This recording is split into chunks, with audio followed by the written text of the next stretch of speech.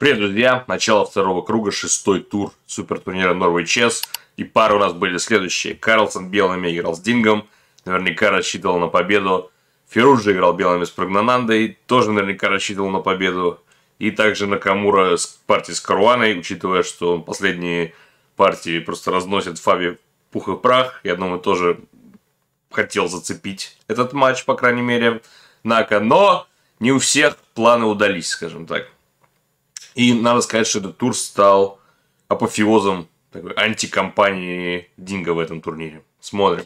Следующая позиция у нас на доске в партии Карлсон Динг. И первые ходов 20 Динг даже держался. В принципе, более-менее у него позиция была. Потом Магнус начал перекатывать. Но здесь совершает довольно серьезную ошибку, рассчитанную, видимо, на форму соперника в чистом виде. Потому что сильнее было, чем ферзь h5, потому что Магнус сделал ладья g1 намного. И вот я стрелочки нарисовал, тут ладья идет на g4, дальше на d4 слабость, вторая идет на g1, на g7 слабость, где-то ладья пойдет на h4, где-то, может быть, ферзь выскочит на h5, на h7 слабость, в общем, куча слабостей, и ну, ком как-то держит еще, но, по-моему, очень тяжелая позиция, черные должны развалиться. Магнус решил, что все это слишком долго, и намного проще напасть э, на мат, и вот сложно поверить, но вот эта партия э, закончилась, сейчас скажу, через э, три хода. Три хода. Вот это 27-й ход у нас, на 30-м ходу партия закончилась. Причем на 31-м ходу черные должны были получить мат. Вот можно поставить на паузу, знаете, есть такие, э, такие этюды, э, кооперативные называются. Вот можете поставить на паузу, составить кооператив здесь. Э, идея в том, что черные начинают, белые начинают и ставят мат три хода, а черные это не сопротивляются. Последовало ферзь h5, ферзь f8, ладья e4, типа пешка на d4 висит. И здесь, кстати, у черных был вполне нормальный ход h6, и после взятия пешки конь выходит на e5.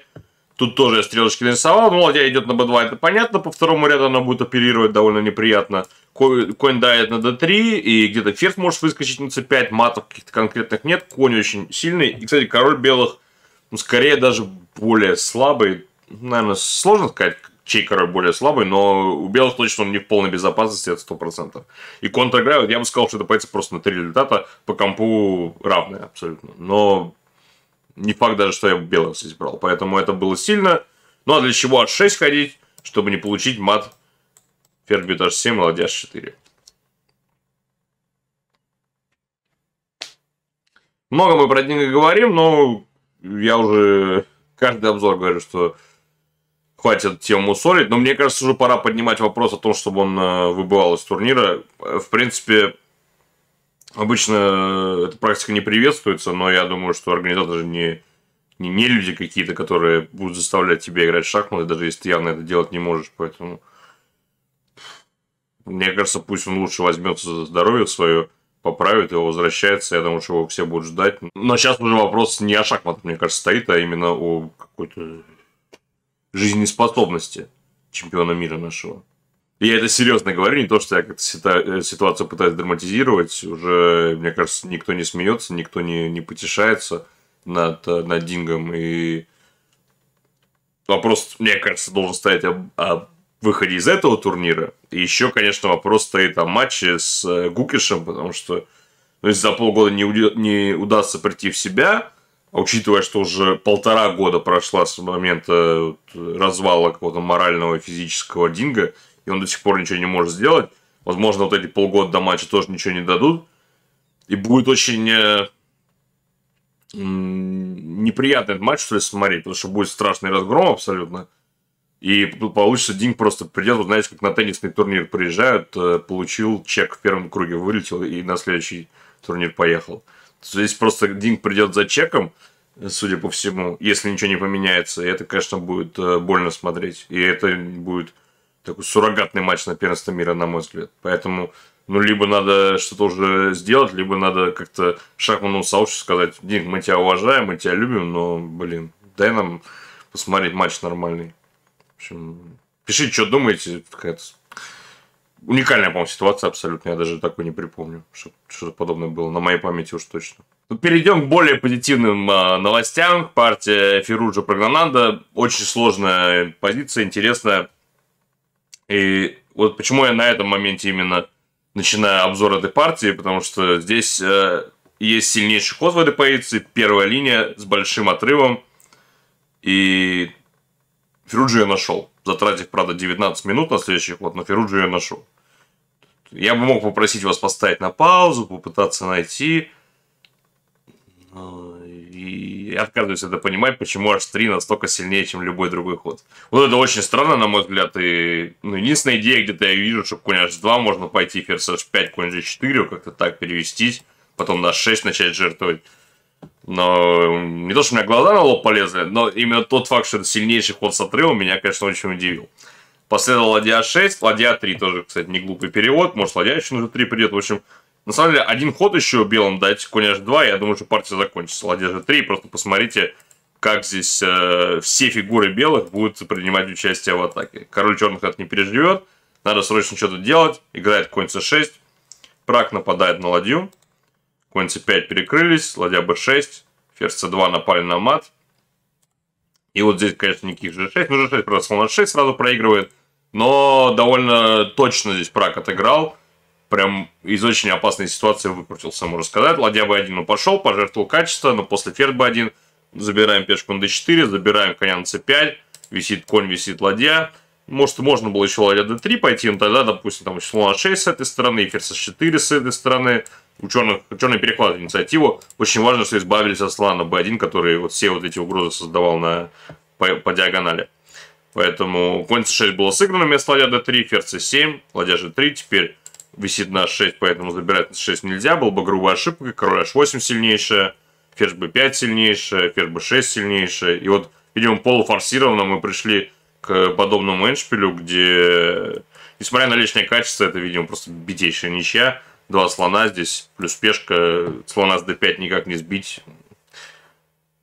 Согласились просто ничего этой позиции. Я, по кстати, один раз проиграл что-то подобное, мне кажется, без слонов чернопольных и, и без ладьи. То есть слон на d5 против ладьи. И такая же структура была. По-моему, все равно должна быть бита ничья, я как-то умудрился проиграть. Но здесь даже не стал пробовать Феруджа, перешли в Армагеддон. И в Армагеддоне владел инициативой Феруджа, всю партию нужно было побеждать. А, и, но при этом Прак неплохо защищался. Единственное, что все-таки проседал по времени. И здесь э, последовал какой-то хотел сказать странный ход, но он действительно странный, но с другой стороны, на секундах я видел и ходы более странные, прямо скажем. Э, последовал слон d7, но пешку на e4 просто отдал прак. А вот если стоять, ладья a4, ладья c4, ладья a4, ладья c4, тут, в принципе, иншпирек-то вроде не назвать а каким-то супер необычным. Единственное, что вот ладья на g4 стоит, и вроде уже почти мат, но при этом конь на f5 режет эту ладью, и как белым усиливаться здесь. Я вот так читаю тут линии втихаря комповские, и комп просто ходит туда-сюда, на самом деле. Ладья d8, ладья e8, король g1, король h2. Может, это просто ничья. Не знаю. Ну, хоть, наверное, у белых какие-то планы здесь должны быть, но это надо прям сидеть тут э, часик, подумать, поразмышлять, и, скорее всего, все равно черные должны держаться. Но слон d7, ладья e4, да, поэтому, конечно, проиграно уже, и потихоньку здесь э, добил добил Реза и победил. Кстати, вот прикольный дальше маневр слон Е5. Либо меняем ладьи, либо съедаем на F6. Ну, можно было еще, кстати, ладьи поменять, пойти к ним конь H4. Скорее всего, выиграно. Кстати, разноцвет, может быть, вообще в пользу белых здесь играет. Потому что пешка G7 будет э, сложнее защитить. И при случае еще э, матовые какие-то идеи. Вот, кстати, знатоки. Мне стало интересно, если поменять все пешки, это выиграно ли не выигранная ли эта позиция. Мне кажется, она вполне может быть выиграна, учитывая именно разноцветных слонов, что по черным полям черные не смогут защититься. Так что пишите, как обычно, что вы думаете на этот счет. Ну, а здесь просто пешку еще прак зевнул, и дальше уже неинтересно. Ладья f7, победа. Феруджи выиграл. Ну и последняя партия, последняя пара игрового дня, это Накамура Каруана. Классику белыми Нака вообще ничего не получил. И что несколько удивительно, потому что выиграл он много партий уже подряд до этого, я говорил, у Карваны, но здесь э, то ли не собрался, то ли еще чего, не знаю. Но не получилось у него откровенно ни классика, ни, ни, ни Армагеддон. Могу даже прокрутить дебют, потому что здесь, в принципе, у них такой же был дебют э, в классику, CD. Единственное, что ферзь f3 ходил классику Накамура, но перевес от этого больше у него не стало. Здесь он пошел на какой-то эншпиль странноватый, по черных полнейший комфорт. Здесь, правда, почему-то H4 какой-то ход и плюс 0.2, но... Слон G5, вроде как по-человечески расставился здесь Нака, но вот укрепился, очень важно, по белым полям Фаби, и уже у черных полный порядок, и визуально, и по компу, и как, как ни крути. D5 странный ход. Возможно, надо было все-таки коня куда-то переставить, может даже поменять его. Хотя белым нужно побеждать, тоже размен особо невыгодный. В общем, ну вот странно здесь. Не, не, не уверен, насколько, как надо белым трактовать позицию, учитывая, что нужно побеждать. Но в любом случае черных порядок должен быть. Попытался прорваться здесь Нака. Вот здесь, кстати, последний видимо, важный момент был в партии, реально, а, на сыграть конь f1 и попытаться все-таки одного из коней выменить. На конь 4 пока ладья один дальше либо конь e3, либо конь d2. Ну, просто конь на g3 у нас абсолютно вне игры, а конь c4 опасная фигура. Вместо этого король e1 быстро сыграл хикару, а6, ушел обратно, и тут э, еще смешно, что начал Фаби в позиции с минус 3 спекулировать на то, что он э, его ничья устраивает что начал то на это, то на это нападать. Здесь, то есть, конь g3 уже не пойти. Пришлось e5 ходить, конь на d3 залез, c5. Полная доминация черных. И на самом деле удивительно точная игра всю дорогу здесь была от Фаби. Я даже... Э, то есть, ну, это визуально видно, что он особо ошибок не делал. Я потом чекнул, точность у него действительно была 95 и 14 потерь. Средняя потеря с, с антипешек что, насколько я понимаю, довольно высокий уровень. То есть, если меньше 20, то это уже, уже порядок. Да, ну и здесь э, перевелся, перевелся. Последний Нак, естественно, начал крутиться, как не в себя, э, когда уже позиция стала совсем проиграна. И многие бы, наверное, тут э, потеряли хладнокровие, но не, не Каруанс. Не первый год он на этой работе. С2 пошел, то есть конь b6 сначала. С2, кстати, тоже можно было. И на коне в 7 мат какой-то грозит, но g5 есть ход. Матов Мады кончились, а пешка проходит. Ну, конь b6, наверное, по-человечески почетче. Напали на ладью сначала. c2. И на коне f7. Ладья c8. Все. Защитились от мата. Пешка проходит. Четкая очень победа от Каруана. И у нас, друзья, новый лидер в турнире после этого. После того, как Накамура э, не смог победить в Армагеддоне. Магнус Карлсон вырвался на первое место. Хикару на втором. Прак на третьем. Алирез четвертое. Чуть-чуть подтянулся Фаби не набирает очков. Дин четвертое поражение подряд. И реально, реально грустно просто. Просто грустно за этим наблюдать, но... Ладно, уже тысячу раз я все, все высказал. А, так, что у нас еще? У нас еще женский турнир. Произошли некоторые события, в том плане, что чемпионка мира, которая до этого выиграла 5 Армагеддонов из 5, в этот раз первый, э, первый раз выиграла партию в классику, у Вайшали больше 100 ходов партия длилась. И в итоге она обошла свою конкурентку Вайшали э, на пол очка. И, кстати, на пол очка еще обгоняет Вайшали Анна Музычук, которая выиграла две партии в классику. До этого, напоминаю, она что-то что типа 20 партий не могла выиграть, но здесь собралась на этот супер турнир. И, к сожалению, замыкает таблицу здесь Пия Крамник. Ну, ей действительно тяжело.